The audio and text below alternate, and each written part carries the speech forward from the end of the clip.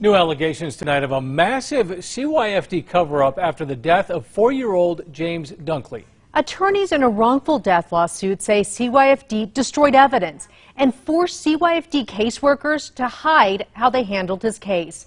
Tonight, we're also finally seeing video of how one case was handled. It's video APD has refused to release. A warning some may find this video tough to watch. What's your favorite favorite thing about Halloween? like um Pikachu. A friendly four-year-old James Dunklee chats with an officer and nurse. I like my big trucks.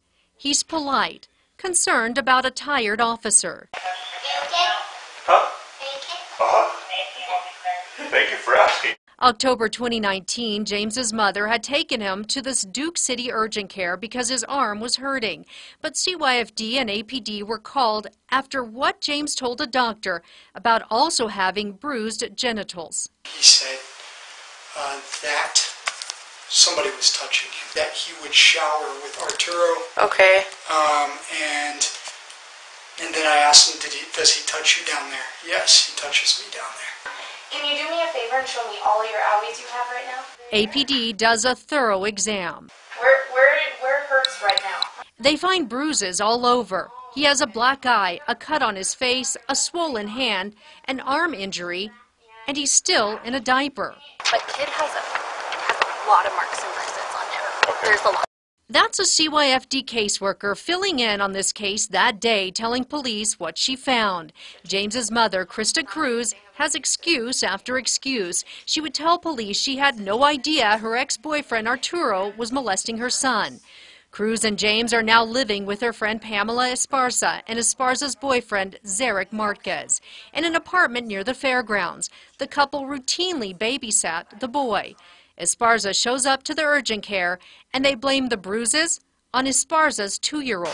My two year old is a very cute little girl. She's very CYFD would send James to a foster home temporarily, suspecting Marquez was behind the injured arm, cuts, and bruises on his face. The only worker that had ever investigated the home where he was living was Derek and Pamela was begging her bosses to do the right thing and take him into custody. And they said no. They said, calm down. That's what they told her. Attorneys Alex Kreka, Rachel Berenson, and Sarah Kreka have filed a wrongful death lawsuit on behalf of James's grandfather. They say during a recent deposition, James's CYFD caseworker fought to keep him in CYFD custody, but her supervisors told her no. They said, calm down. That's what they told her. Calm down. We're going to send him home with his mom on a safety plan. 52 days later, he was dead. Cruz had promised she would not return to Marquez's apartment. Less than two months later, James is found lifeless at Marquez's home. This is what he told police that night. He checked on his ear. I seen his ear up to his little, uh, Yeah, red. no rush. And he said, I don't feel good, Dad. And went Start one take. and fell back. And he hit his head against the wall. Placing you under arrest, okay? Marquez had beaten James to death. They didn't download any of the evidence. They didn't protect the evidence. And this is after he died.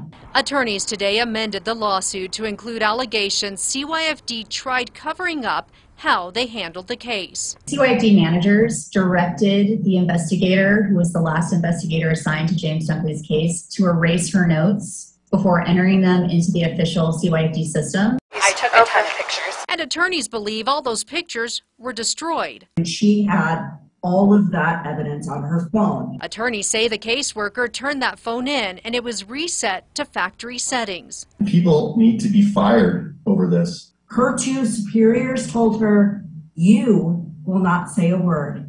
You are going to sit and be quiet during this meeting. The attorneys are demanding change. We would love to not have to be representing dead kids. We would love for CYFD to do their job. CYFD responded multiple times throughout James's life to investigate abuse claims. We put an IPRA request to several law enforcement agencies a year ago trying to get videos. We were denied. We obtained this video from the attorneys who were also denied but obtained it, obtained it through the district attorney's office. CYFD sent a statement tonight saying, in part, the department will defend against these claims in court. We've posted the full statement on krqe.com. Marquez pled guilty to intentional child abuse resulting in death and is facing a life sentence. Esparza and Cruz are awaiting trial for allegedly knowing about the abuse and allowing it.